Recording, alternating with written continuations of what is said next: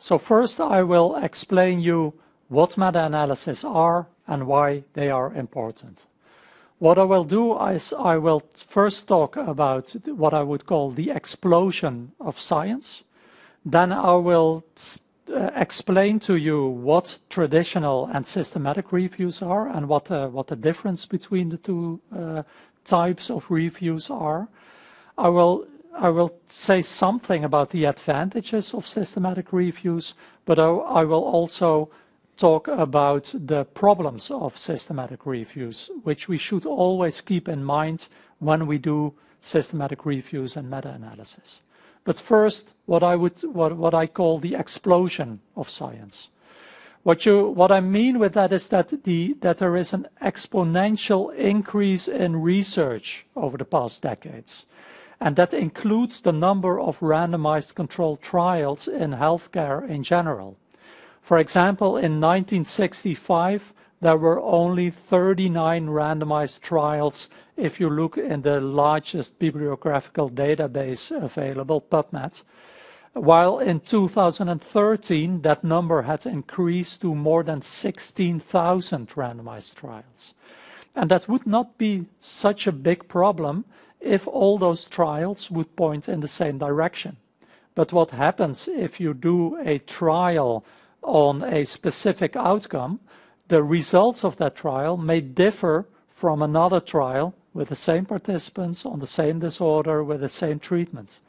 And that's, uh, that's a problem because then we never know what the right effects are. What, what exactly are the effects of that intervention if one trial points at this and another trial points at another outcome.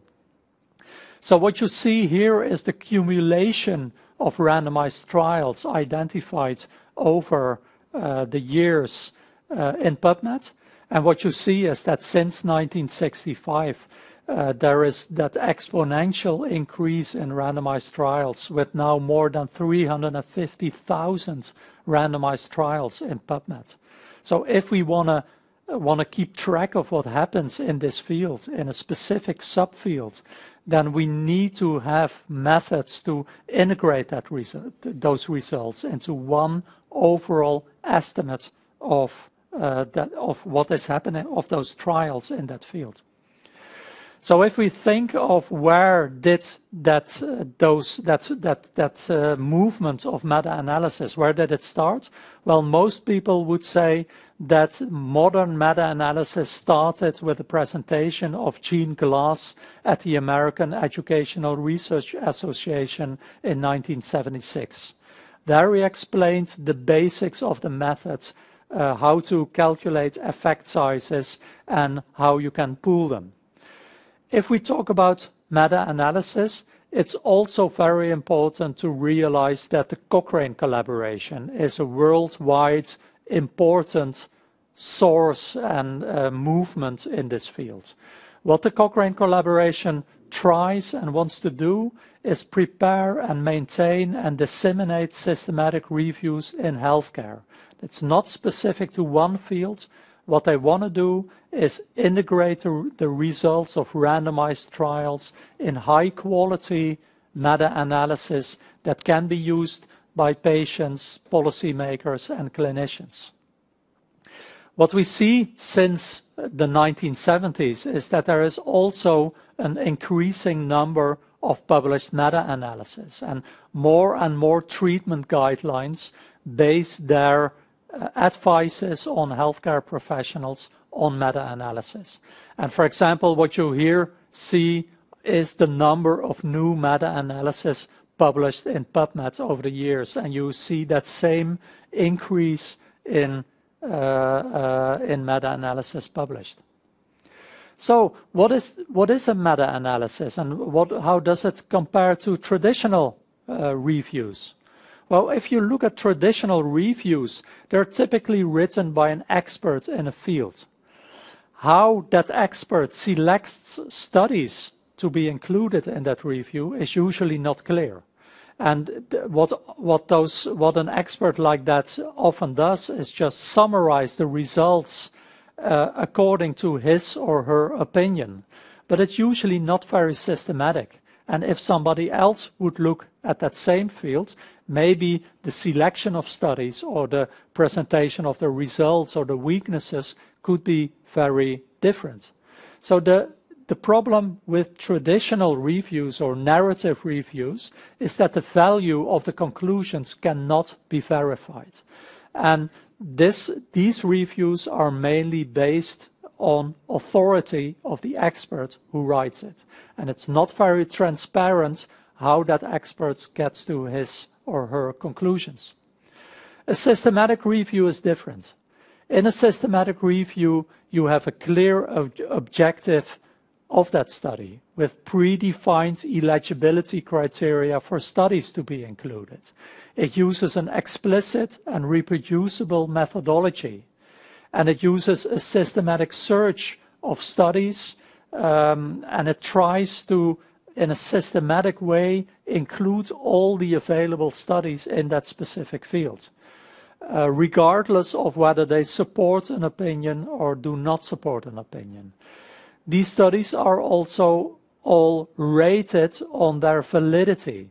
Are the results valid of these trials? And the, there is more emphasis on studies with high validity.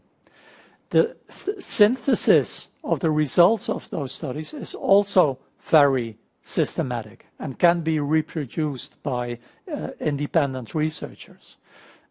A meta-analysis is a specific type of systematic review in which the results of individual studies are statistically integrated into one outcome. There are different types of meta-analysis, and I won't go too deep into that. What, we will, what I will teach in this course is what I would call the traditional meta-analysis, a comparison of two groups, uh, studies examining, comparing two groups, a treatment group and a control group. And then the, uh, you pool effect sizes of those two uh, groups uh, across studies. But there are other types of meta-analysis. For example, a network meta-analysis that is not limited to that one comparison. What you can do in a meta-analysis is you, you have, for example, two treatments, treatment A and treatment B, and some studies compare treatment A to a control group, others compare treatment B to a control group, while a third type of study compares treatment A and B to each other. And you can all put that together in one large meta-analysis. In those network meta-analysis, you make use of the power of multiple types of studies within that meta-analysis. Another type of meta-analysis which is very interesting and which is used more and more is what, what, what is called the individual patient data meta-analysis. What you do in these, these meta-analysis is that you collect the primary data of randomized trials from a systematic review and make one big data set with all the patient level data uh, from those trials. And the big advantage of those meta-analysis is that they have sufficient statistical power to examine moderators of outcome. Are there specific patients group patient groups who benefit more from a treatment than other patient groups.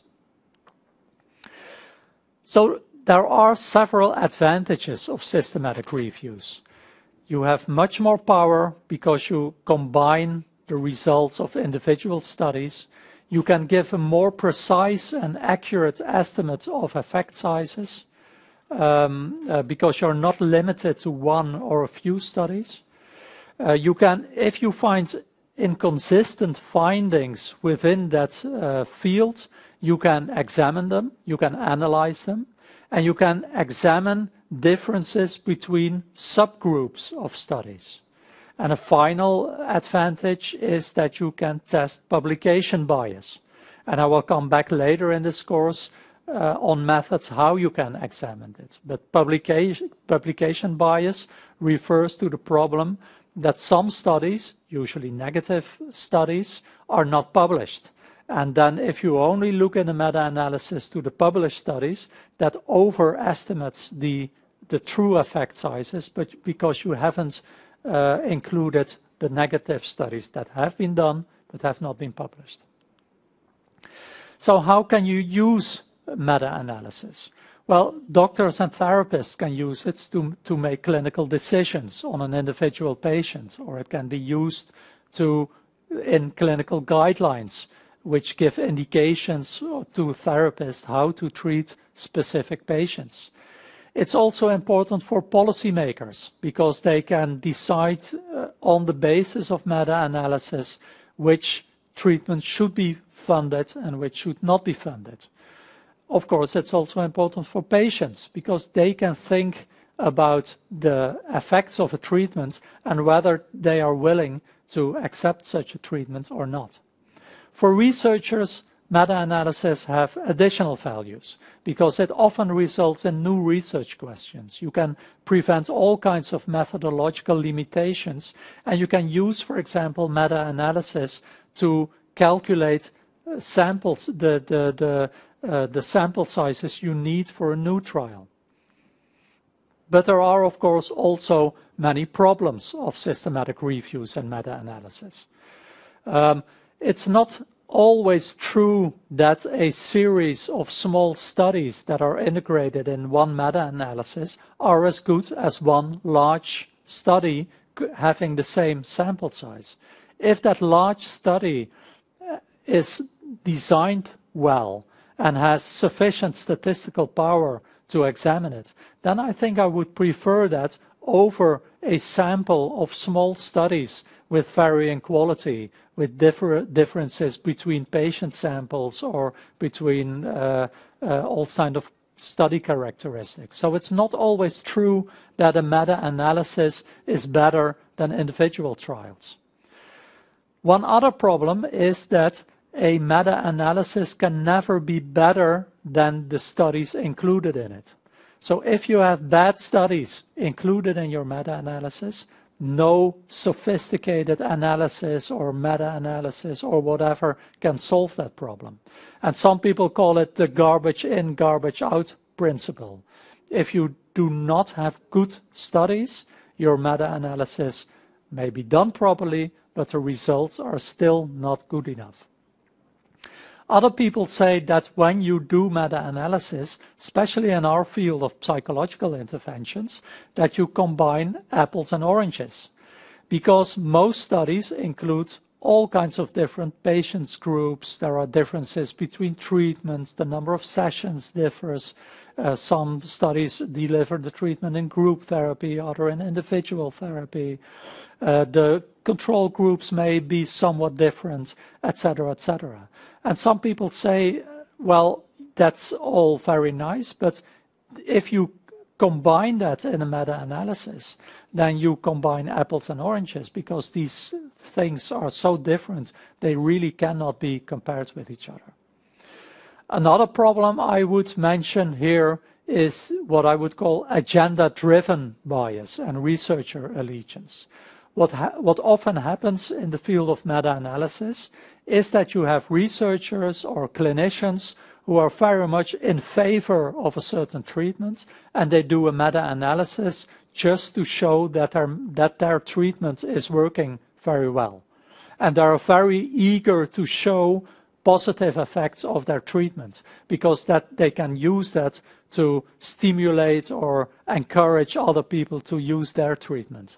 And that's, uh, I think that's an important source of bias in our field, in the field of meta-analysis. And we should be all, always careful not to do that and uh, make sure that we are not uh, uh, making these kinds of mistakes. Finally, I will show a nice paper from the British Journal of Psychiatry in which they have, uh, uh, which shows that we do not have to do randomized trials and meta-analysis on anything. This is, uh, uh, as a joke, in the British, Journal, British Medical Journal, they conducted a systematic review on uh, the use of parachutes when people jump out of airplanes. And they found no randomized trial to examine whether that worked. And uh, so the conclusion of the systematic review is that if you jump out of an airplane, there's no evidence that a parachute will uh, help you uh, reduce the damage when you get to the ground, which is of course nonsense. And um, sh this shows that we should we should not think that everything we do in healthcare or outside healthcare has to be supported by randomized trials and meta-analysis. So the key points of this part. Because of the exponential growth of research, we need methods to integrate the results of multiple studies. Traditional reviews are not systematic and transparent enough, and they cannot solve that need for integration of uh, research. Systematic reviews have a reproducible methodology, and meta-analysis meta can certainly uh, in which the results of individual trials are integrated statistically can certainly help to integrate the results of mul multiple studies. And these systematic reviews and meta-analysis have many advantages for professionals, patients, policymakers, and researchers. But there's also risks we should be aware of. Risk of bias, the problem of garbage in, garbage out, and the problem of combining apples and oranges.